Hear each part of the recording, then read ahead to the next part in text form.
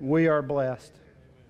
Um, I just met these guys this morning. They were hanging out out front, and I said, "Hey, since you guys got some band equipment, why don't y'all come in and play music for us?" And and I'm glad they did, aren't you?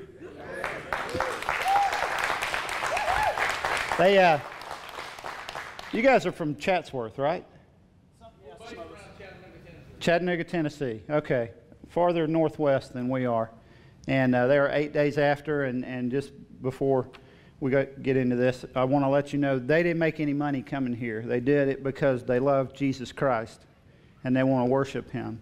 But it cost them something to come here, and the little bit we give them does not cover what they have brought in their time and their expense. So they have some CDs and some stuff out there. Please, please, please support them. Go by, buy all their CDs. Don't let us, let's not let a CD be left when they leave here today and the other stuff. Okay, that would be a great blessing to them. But I believe in the future, hopefully, we'll be able to have them come back. And we're, we have plans to do outreach. We've already talked about the trunk or treat. We have nine acres out here. I would love to see us set up an outdoor concert out here on our property, have these guys come back, and maybe a couple other groups. Wouldn't that be awesome? The message that I have for you this morning uh, honestly doesn't have a title because I wasn't sure how to title it. And it's going to be mostly for church folks. You guys that are followers of Christ, you, are, you would say, Yes, I'm all in with Jesus. Uh, live for Him, serve Him, want to want to be like Him, want to want to be in His will and do what He wants me to do. But I also believe that for all of you, if, if that's not, not you, that that this message will be for you this morning as well. And uh, I have some questions for you, and I, I know the answer already, but I, I, need you to talk back to me this morning a little bit, okay? Um, is there anything in your life that you wish would change? Is there anybody, family members, friends, um, loved ones that you have that you just pray and wish, you know, hopefully prayerfully that, that God would get a hold of them and change their lives? Absolutely. Well, let me ask you another question. What if in the next six weeks, not just here, but all around us in our, our circles of influence, we saw 25 salvations? What if we saw 50 new believers baptized for Jesus Christ? What if in this church we saw a 20% increase in church attendance? What if we saw 20 new people serving in ministry, accepting a call to ministry? What if we had two new people accept their call to missions and two new local small groups start? What would you call that? A revival, an awakening, possibly. Wouldn't that be awesome in six weeks to see 25 salvations? Well, let me ask you this how do you think that's going to happen? And do you think that can happen? It can happen. It can happen. But it's going to require something of you and me. We can't do what we've been doing and expect different results. You've probably heard that before. The definition of insanity is doing the same old thing, expecting different results. And we can't just do the same old thing. We've got to dig deeper. We've got to seek God more. We've got to be willing to give our time and our resources and, and, and our effort to see these things happen. God can do it, and God will do it. Don't misunderstand. I'm not saying we can save anybody, we can't save nobody. We can't save anybody for you English teachers. We can't save ourselves. Self help is the biggest lie in the world. it amazes me, the people that go to stores and buy self help books, thinking, listen, I'm the problem in the first place. Me helping myself is what got myself in the shape I was in. And that's why God had to pull me out of that pit of slime, that muck and that mire, that slimy pit. God had to pull me out because I put myself there. And many of you have too. And so self help is just ridiculous. We need God's help. We need His presence. We need His help alone. And I love the scripture. I'm going to give you a lot of scriptures today. Um, but I want to tell you, we've talked a little bit lately. If, if you haven't kind of kept up with the church, we've been talking about church and, you know, why people stayed away from church, why they should come back to church, what our job as followers of Christ are, and, and we've been using the word invest a lot. That we need to invest. Not just spend, but invest financially, but we need to invest our time. We need to invest our, our talents that God's given us. We need to invest our, our energy and all of our resources. And when we invest, what do we expect? A return. When you invest financially, you expect a return, or you don't invest. And that's the same. And we believe that as we invest our time and our prayers and our, our effort and even our money, that we will see a return for the kingdom. It's not for us, it's not for this church. And you guys that have been here before, we, we beat this drum a lot. This, what we're doing is not just for us. We're, we're just a small, little, tiny part of what God wants to do in our world. We're infinitesimal. We're, we're just nothing in what God wants to do because God is so much bigger than we could ever imagine. Not just in Pickens County and in, in Northwest Georgia, but in Tennessee and North Carolina, across the country and across the world. God is everywhere. He's the creator of the universe. You know that, right? He's still creating, by the way. Scientists have discovered that there are still planets and stars and galaxies being formed one after another. God is, a, is a, just an unbelievable creator, and He's still creating, and He's still changing lives, and He can still change lives today. I want to read some promises to you from God and, and, and the principle of sowing and reaping and investing in return. When you invest, you expect a return. When you sow, you reap, right? God says, whatever you sow, you shall reap, good or bad. Deuteronomy chapter 4, verse 29, God says, But if, notice the if, from there you seek the Lord your God, you will, notice the will, you will find him if you look for him with all your heart and with all your soul. If you look for him, he says, you'll find me. Second Chronicles 7:14 says, "If my people who are called by my name will humble themselves and pray and seek my face and turn from their wicked ways, then, then is an important word, then will I hear from heaven and will forgive their sin and will heal their land." Psalm 81:13 and 14 says, "If my people would but listen to me, if Israel would follow my ways, how quickly would I subdue their enemies and turn my hand against their foes?" Jeremiah 15, 19 says, Therefore, this is what the Lord says If you repent, I will restore you, that you may serve me. If you utter worthy, not worthless words, you will be my spokesman. Let this people turn to you, but you must not turn to them. Those are great promises from God, but it requires something from us. He says, If you repent, I'll restore you. Not might, not later. I won't think about it. It's done. If you repent, I restore you right then. If my people will pray, then I'll come and heal their land. We've, we've so neglected prayer. And honestly, even in this church, and, and we pray, you know, we pray on, before service, during service, after service. We pray before meetings. We pray before meals. We have a prayer team that will pray with you. But I'm telling you, in the next little while, we're going to ramp up the prayer in our church because we need to seek God. And when we do, He says, You're going to find me, and I'm going to heal your land. Isn't that awesome? Isn't that a great promise from God? He doesn't even waver on the possibility of it. He says, if you do, I'll do it. I love history. I love uh, church history. I love all kinds of history, but I love reading about church history, even the bad, because I think we can learn from the bad. You know, granted, church has done a lot of bad. You know, Christians have killed other people in the name of Christianity, and, and you've got to think that that just breaks God's heart. But, but I, I love to read about history, and I love to read about old revivals. I don't know if any of you guys do, but I want to mention some revivals here. I got a, a kind of a page of historical revivals. Um, the Reformation, this was back in the 16th century. This is where, where really most of our churches were born from. Our Protestant churches, you know, they were, they were protesting, which is where the word Protestant came from. We were protesting the Catholic Church because they were doing some stuff they shouldn't be doing. They were basically selling indulgences, they called them, which meant, you know, if you've sinned, you pay me money, I'll pray for you, and God will think about absolving your sin. And so it was just terribly corrupt. And so that's where the, the Protestant Reformation came from. Martin Luther, uh, great, great history. You should read it. Uh, the Great Awakening happened in the uh, 1700s. Second Great Awakening happened in the 1800s.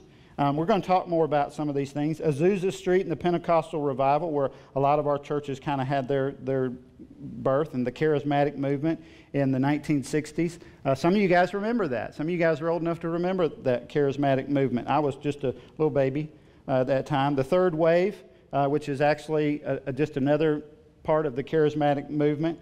And then the Toronto blessing. Too bad Eileen's not here. She would probably be able to fill us in a little more on that uh, what happened in Toronto, Canada. Just amazing outpouring of God's blessing up there. And then the Brownsville revival. Many of you know about the Brownsville revival in Florida, and it's honestly still going on, and, and it's crazy.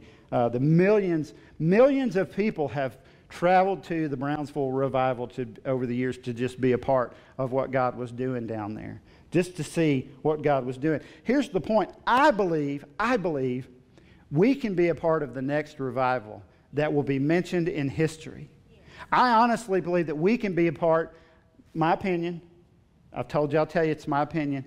My opinion, I think we can be a part of the last revival, which is going to mammothly outweigh all the other, other revivals. The other revivals will look like child's play compared to the last revival, according to what God says. And again, I want to talk to you more about some of these revivals in the next coming weeks. Um, the first Great Awakening uh, involved some really well known, uh, famous dead guys, Jonathan Edwards and George Whitefield. Some of you guys have heard of Whitfield County in Georgia. That's where uh, the name came from. Jonathan Edwards was an amazing, amazing preacher, young guy, 13 years old. He is a child prodigy at Yale University. Graduated at the top of his class at 17 from Yale University. And it's said that Jonathan Edwards prayed and studied his Bible over 13 hours a day. 13 hours a day while being a teenager at Yale, Yale University. You think he was committed? You think he was committed to the Lord? How many of us study the Bible 1.3 hours a day, much less 13 hours a day? Just an amazing thing.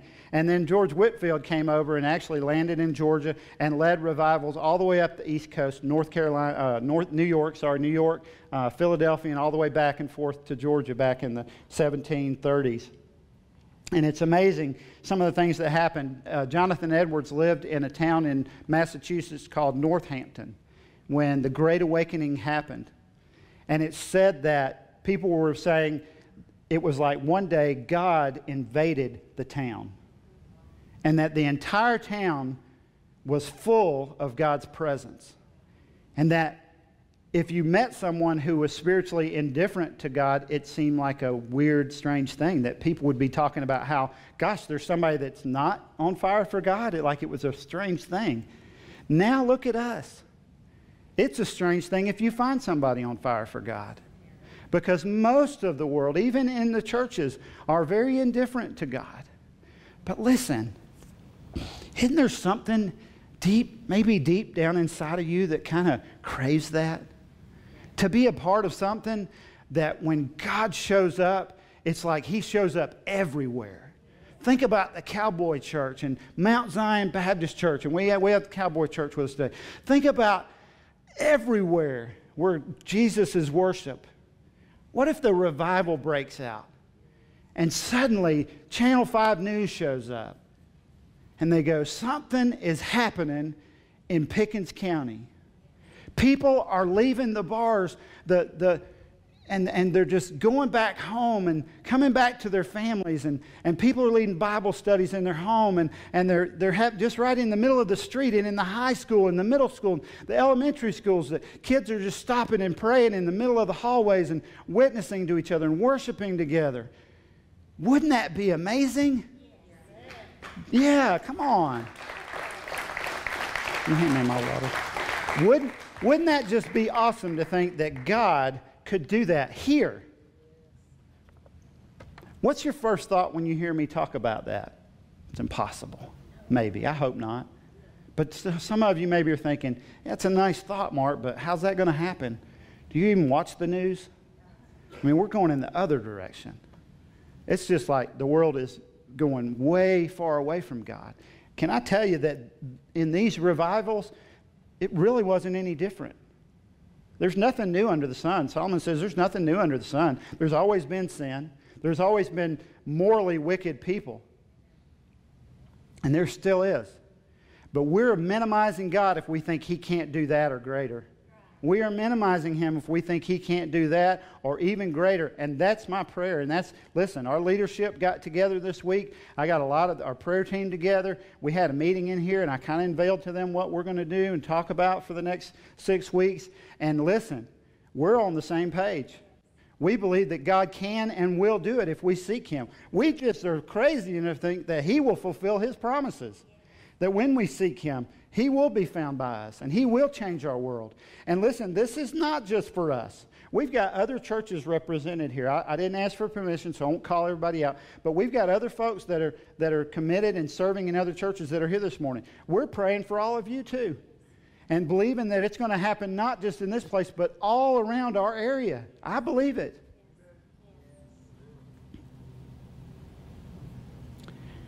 Throughout Scripture, 40 is a very key word.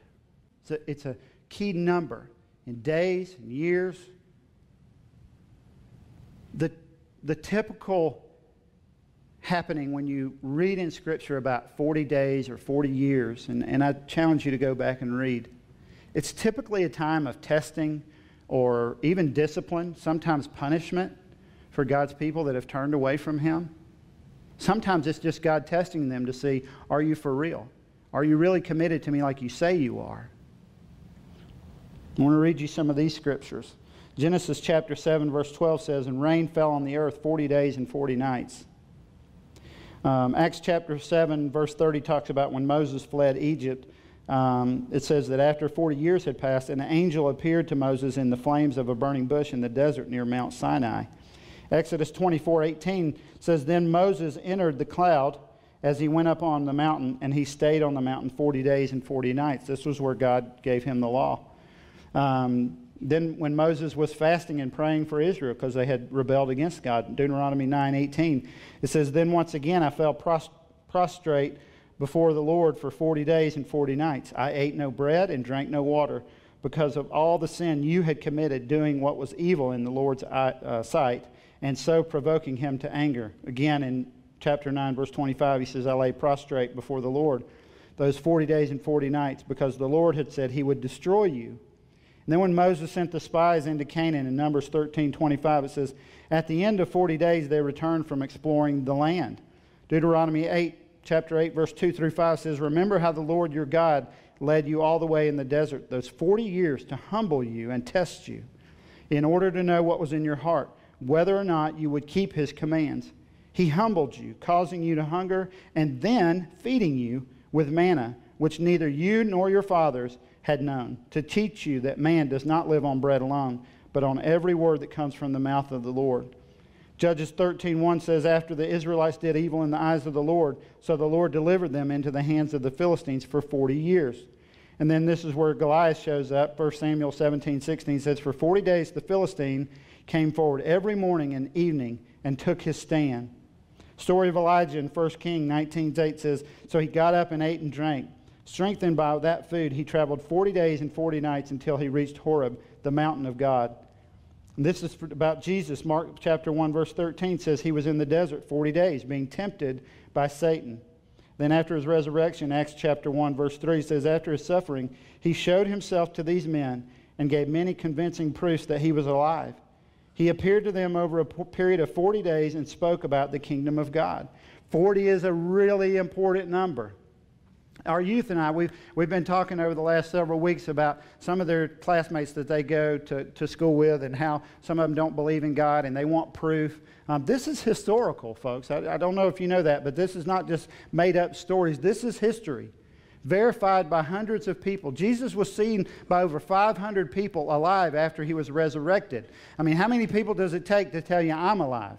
500 people or more saw him alive. That's proof enough, and it's written in the books. And not only that, he wasn't just alive for a few minutes, he walked around with them for 40 days, eating and drinking and talking and teaching more.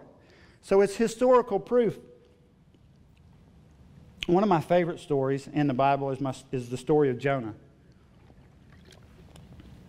You can turn there if you want to, but I love the story of Jonah. It's one of those stories that anybody ever seen the Veggie Tales version of Jonah? Don't you love that movie? I think it's the best Veggie Tales movie ever. I can just watch it by myself. I don't need my grandkids there to watch it. Jonah was sent by God to Nineveh. We know that. Here's what you may not know Nineveh was world famous for being cruel, extraordinarily cruel, vicious, and violent, even to their own people. They were known worldwide for being the experts of skinning someone alive and keeping them alive the longest.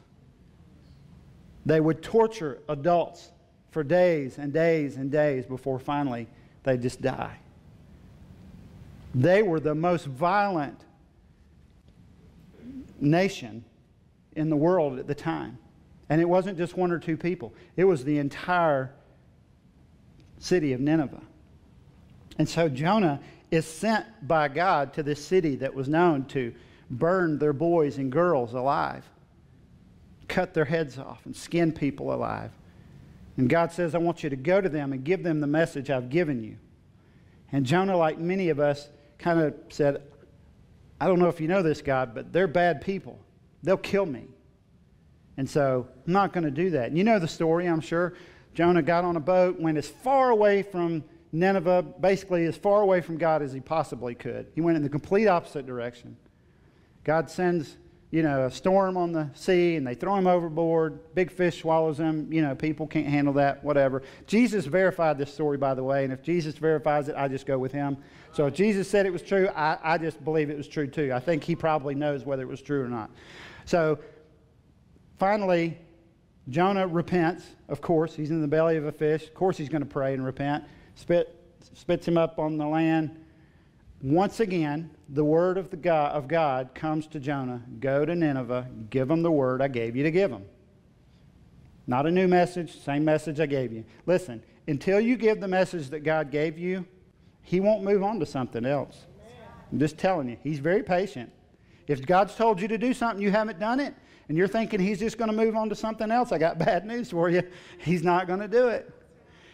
Every time you say, Lord, I need you, he's going to say, Yeah, remember that first message I gave you? When you do that, we'll talk about the next thing. That's just, just the way I, have seen it work in my life. So, anyway, so finally, Jonah goes to, to Nineveh. Now, I believe, and this is my opinion, that Jonah was very scared. He had every right to be. They were vicious people. But I also think something in Jonah, and the scripture would back this up, made him think, you know, they deserve to be destroyed. They, they don't deserve forgiveness, God. Do, they're so wicked, they deserve your wrath. They deserve your judgment. They deserve your punishment. And so he, I think he thought, you know, if I don't go, you'll punish them, which is what they deserve. And we know we deserve it too. But God didn't see it that way. But my question is for you, for our community, for the, the world that you live in, your circle, that maybe to you seems beyond reach of God extremely wicked and immoral. Our, our nation, we could say our nation seems to be going that way. The world seems to be going that way.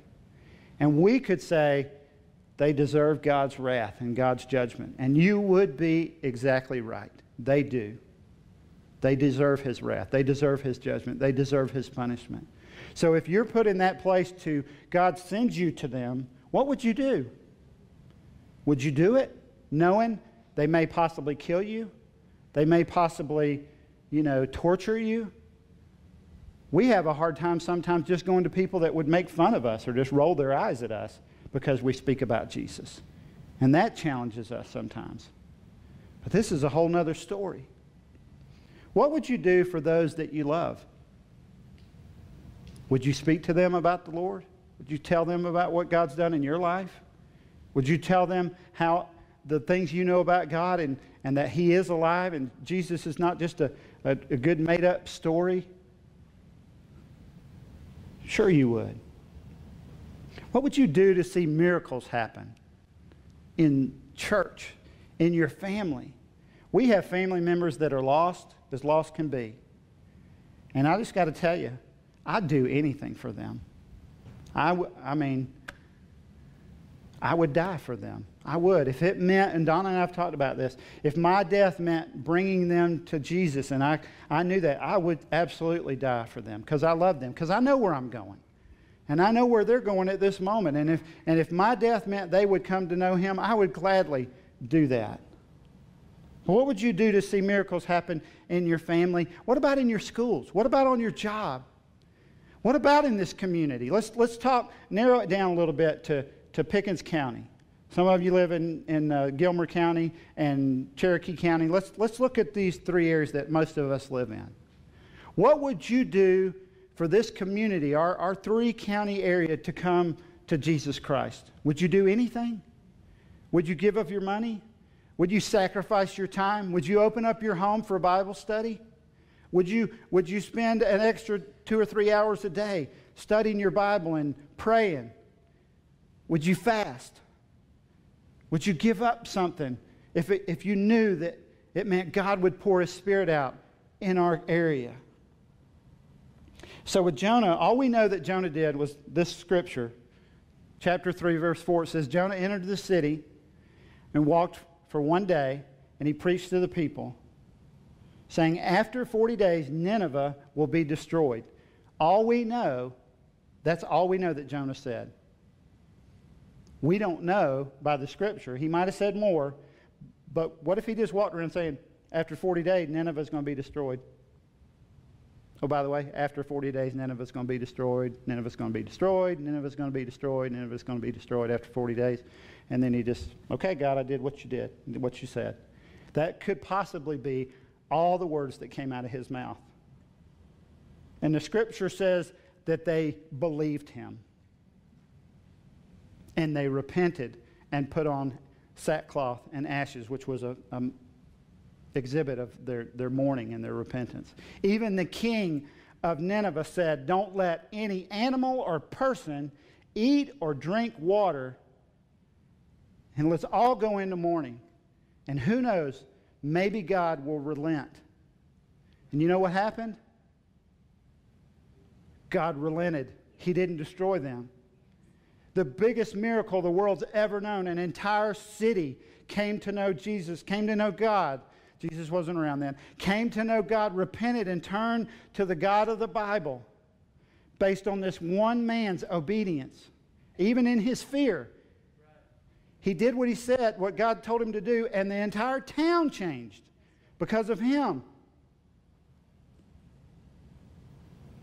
Is that possible again?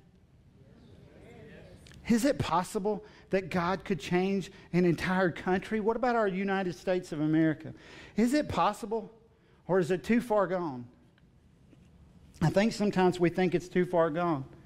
Is it possible that you guys had that video that I asked you about? Okay, can you play that video? I have a 10 second video for you. I want you to see. Real quick, you're going to have to listen to the words. I played this the other night. Okay, go ahead.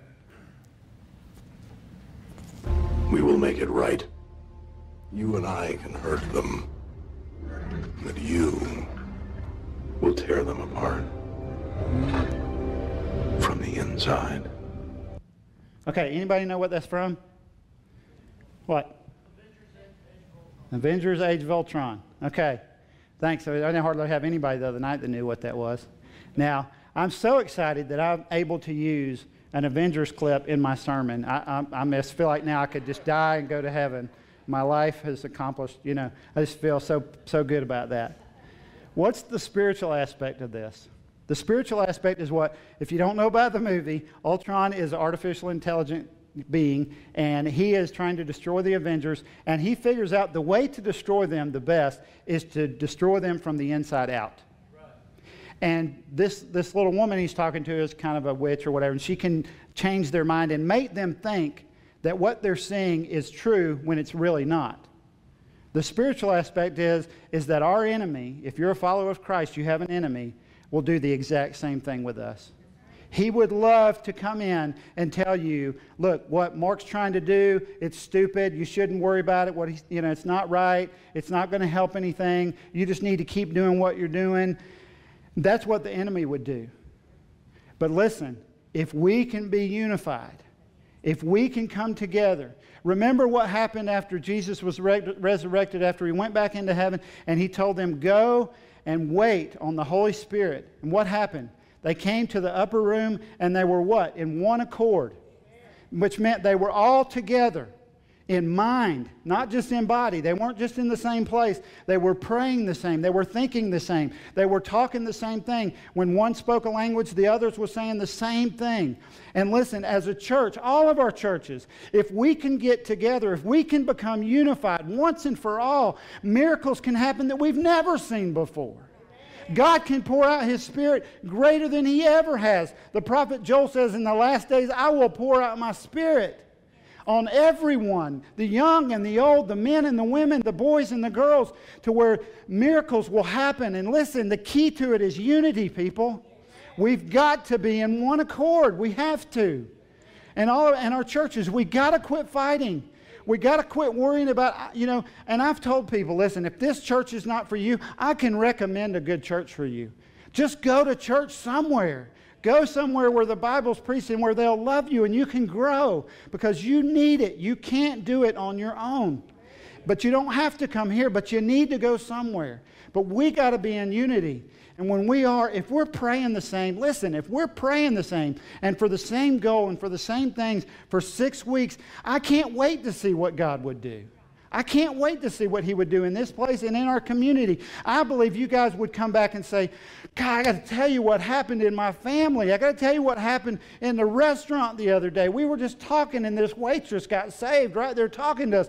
It's a miracle. And then she'd come back and say, Listen, I went home and talked to my kids, and they got saved. And then on and on and on. And that's where revival happens.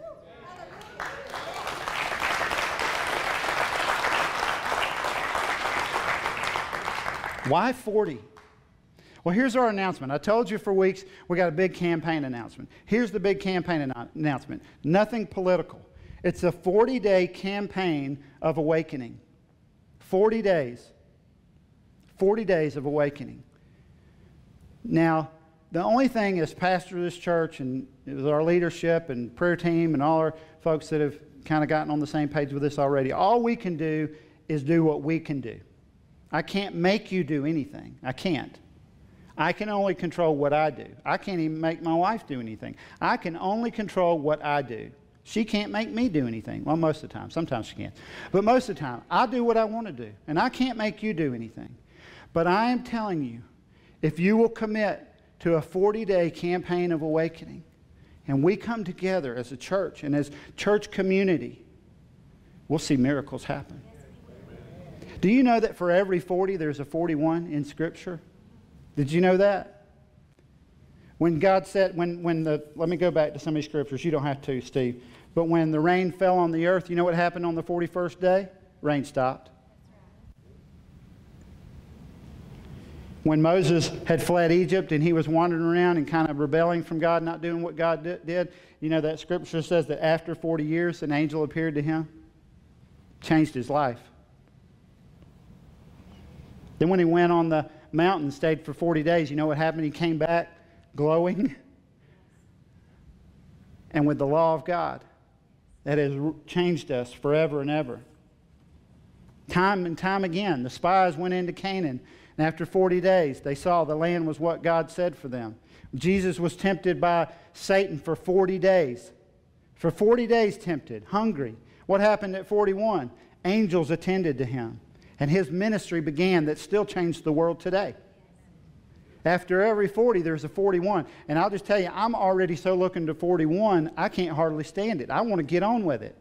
Because I believe when we come together for 40 days, miracles are going to happen. So, what does that mean for us?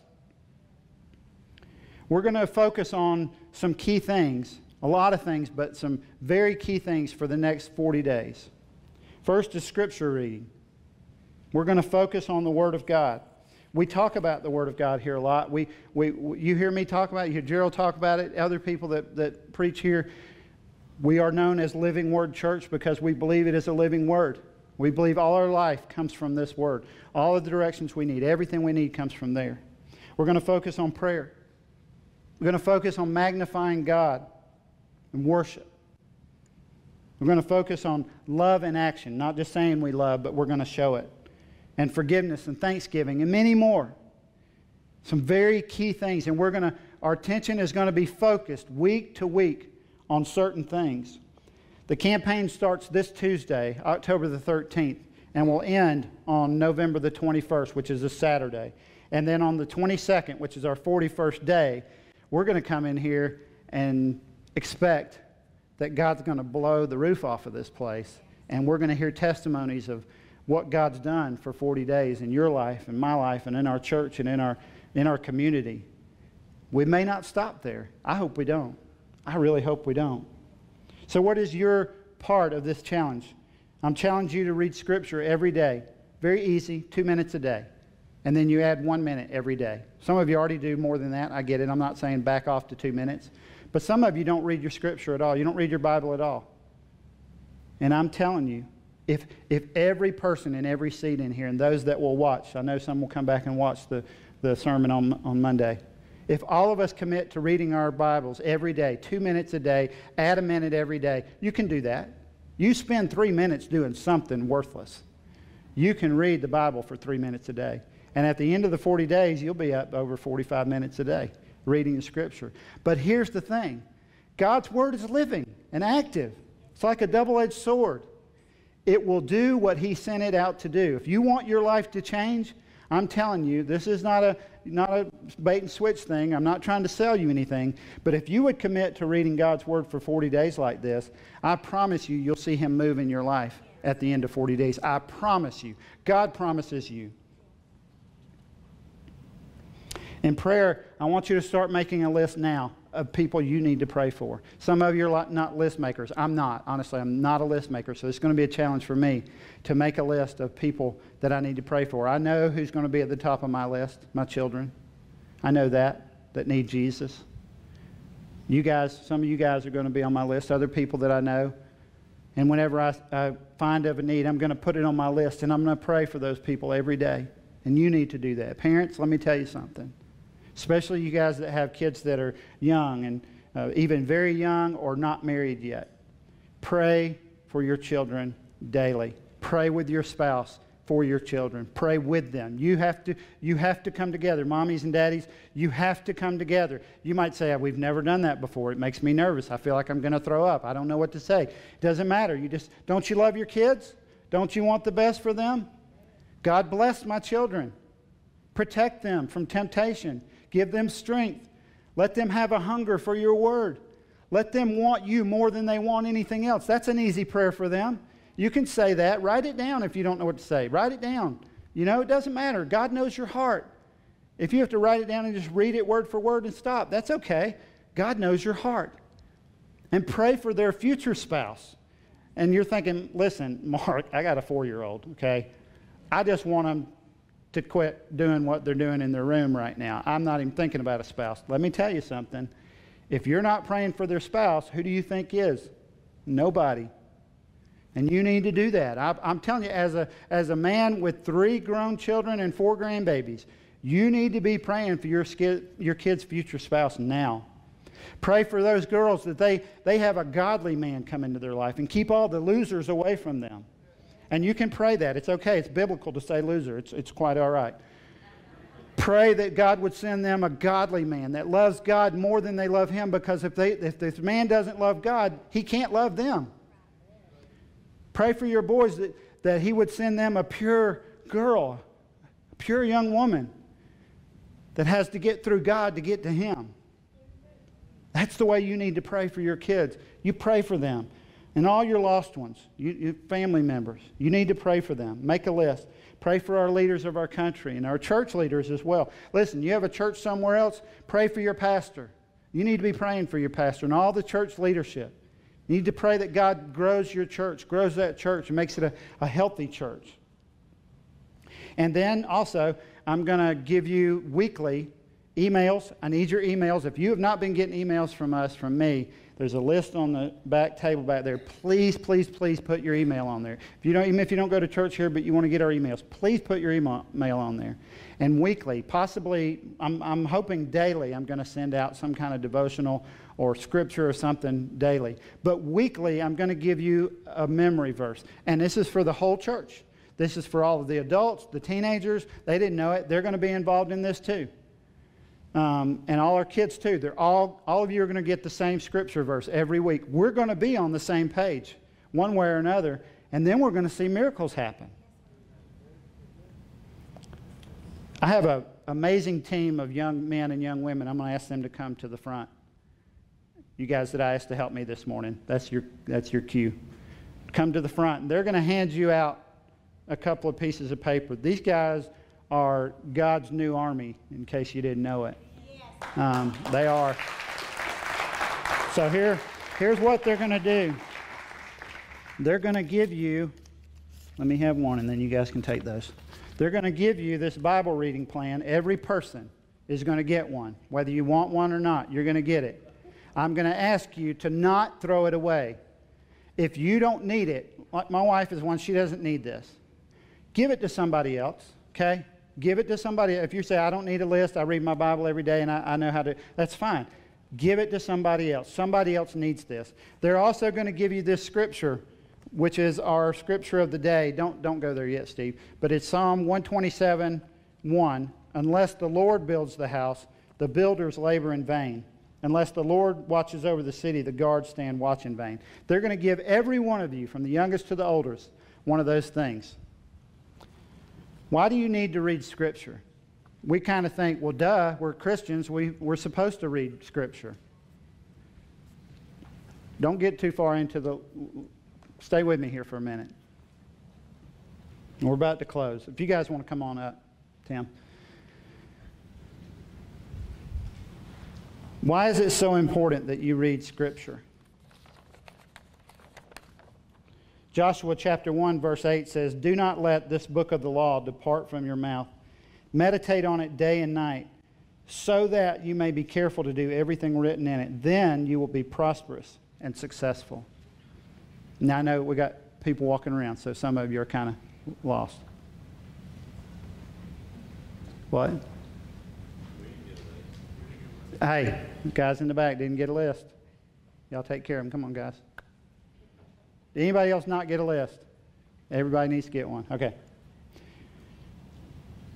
This scripture, do not let the book of the law depart from your mouth. That doesn't mean just read it and then set it down. That means you need to keep it in you at all times because there's going to come a time when you need it and you won't have a Bible in your hands. And the promise from God says that then, then, not until, listen, when you hear the then in Scripture, Think of this not until you do that thing. I want, want you to focus on me just for a minute. Guys, look this way for just a minute. When God says then, he means not until you meditate on Scripture will you be successful and prosperous. So when you do it, when you stay with Scripture and you meditate on it and you get it deep down inside of you, then you will be prosperous and successful. And then our memory verse, Psalm 127 1 Unless the Lord builds the house, the builders labor in vain. Unless the Lord watches over the city, the guards stand watch in vain. He's going to do this, not us. We've got to focus on God, that God's the one that will do the miracles. God's the one that will do the savings. He's the one that will do the physical healing. He's the one that will, will have miracles happen. Your lost ones that you wish would come to know Jesus, He's the one that will save them, not you, not me. He will do it, and only He will do it. We just have to be in, obedient and in unity. Can you imagine what will happen if we come together and do this for 40 days? Just 40 short days. Can you imagine what might happen in our community? Here's what I think will happen. This is the goal that I believe the Lord gave us as a church.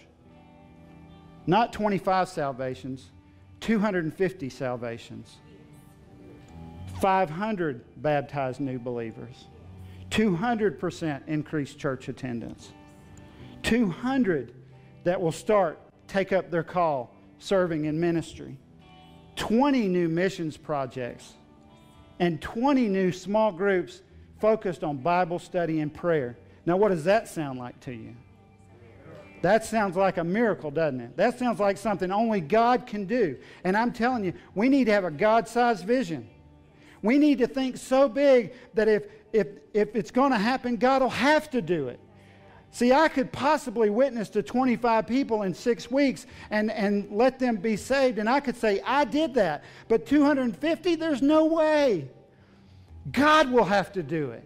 This is a God sized vision, and I promise you, everything else will pale in comparison after 40 days if you will just buy into this. Start Tuesday reading your scripture, start tonight praying fasting. We're going to have extra times of prayer in here. We're going to open up the church on different days for prayer and communion. We're going to have extra nights of worship during this 40 days. We're going to, we're going to focus on seeking God like we never have before and expect that He's going to show up. And you other guys, we're going to pray for you guys. We're going to pray for every church in our community. Faithfully, not just once, but faithfully for 40 days, that God will show up in your midst and do miracles in your churches. And if you're in unity with that, I'd like to ask you to stand. And the altars are going to be open. And I'd just like to ask you if you would commit to this. God will do miracles in your life. And this is not, I'm not trying to manipulate you. I just want you to get real with Jesus just for a moment, right now. Don't worry about all the other stuff. Don't worry about what we're going to do later. Don't worry about anything else, but for right now, Focus on your relationship with Jesus. Do you have one? Do you even know him? If today were the day that God said it's your last day, would you know beyond the shadow of a doubt that you would be in heaven with him? You can know today. I'm going to ask our guys that are serving on the prayer team to come to the front. If you need prayer, there'll be people up front that will pray with you face to face. But if you just want time in the altar with God, come spend time with him. Father, we thank you that you're a loving God, that you care about us, you haven't forsaken us. And God, we need this time with you. And Father, as we commit to seek you for the next 40 days, we believe that you'll do miracles in our churches, in our families. You'll restore marriages. You'll heal father and son and mother and daughter relationships, parents and children.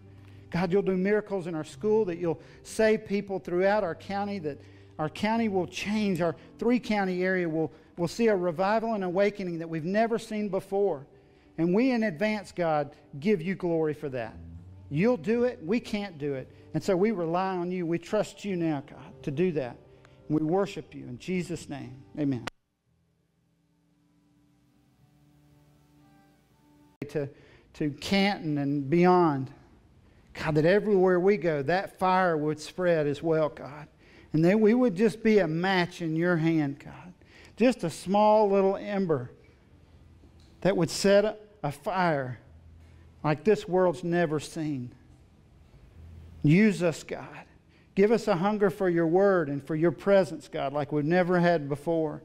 You are the author of life. Without you, we have no life. But with you, we have abundant life. And we expect miracles, God, not for our glory, but only for your glory, Jesus, for your kingdom, God. We have no kingdom. That the kingdom of God would be magnified and, and built and expanded. And that all of our churches would see revival, God. That home groups would break out in revival, God. Not for any glory but yours, God. And we don't care, we don't care if Channel 5 News shows up or not. It doesn't matter. We need you to show up, Jesus. We need you to show up in our lives and in our kids' lives. Save them, Father. Set them on fire for you. Let them know that they need you. And we thank you in advance for what you're about to do in our community and throughout this world. God, we pray for the Cowboy Church this morning that you would bless them, that you would continue to use them Set them on fire for you, God. Send them the people that they need to help them, Lord, the resources that they need and the workers that they need. Father, to do the vision that you've given them to do in this community. Father, I pray for the Word Church, for their pastor and their leaders, for Sam and Carla, God, that you would bless them and give them wisdom, that you would provide for them everything they need. Protect them from the enemy, Lord. And Satan, you have no power over God's body. We rebuke you in the name of Jesus. I pray for this, this worship group, eight days after, Tim and his guys and their families, Lord, that you would open up doors for them to minister your gospel like they've never seen before. That it would be exponential, that they would get calls and requests to, to do things that they just know is you opening those doors, not because of their talent or anything else, but simply because you, Jesus, are for them. We ask you to bless them and use them, that lives would be changed because of their ministry. We bless you this morning, Jesus. We thank you, Father, for our 16 ladies that are serving this weekend in other areas, that they would come back on fire for you as well. And that we just be in one accord, in unity, as your church across this world. We look forward to your soon coming, Jesus. We want to be about your business, so show us how to do that. We love you. We praise you. It's in your name that we pray. And the church said, Amen. Amen. God bless you. Hug somebody before you get out of here. Please, please help these guys out. Pick up all their stuff before you get out of here, okay? God bless you. Love you guys.